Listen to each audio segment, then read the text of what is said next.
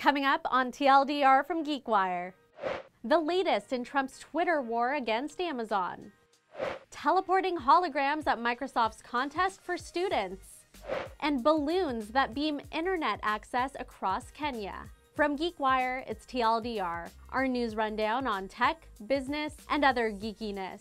TLDR is presented by ReachNow. Experience the future of mobility at reachnow.com. Donald Trump is at it again. The president's months-long Twitter tirade against Amazon and the Washington Post continues. This time, he claims that the tech giant lost a Supreme Court case about internet taxes. He seems to be referring to South Dakota versus Wayfair. In June, the Supreme Court ruled that states have the right to collect sales tax from internet sellers. The issue with Trump's tweets is that Amazon wasn't actually involved in the lawsuit, and the ruling doesn't have a dramatic effect on the company.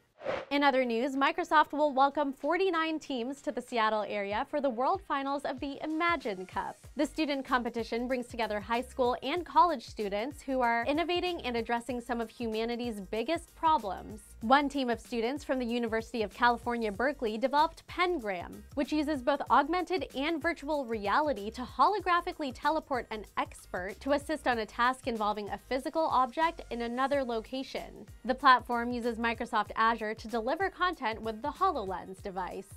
And finally, it might be hard to believe, but there are still large parts of the world that are not connected to the internet. The venture previously known as Google's Project Loon has a solution to bring internet access to these areas. Balloons.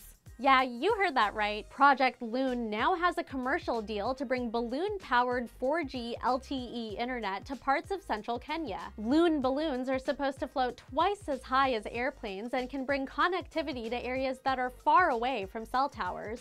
Make sure to subscribe to GeekWire's YouTube channel so you won't miss an episode of TLDR. I'm Starla Sampaco. Thank you so much for watching. We'll see you tomorrow.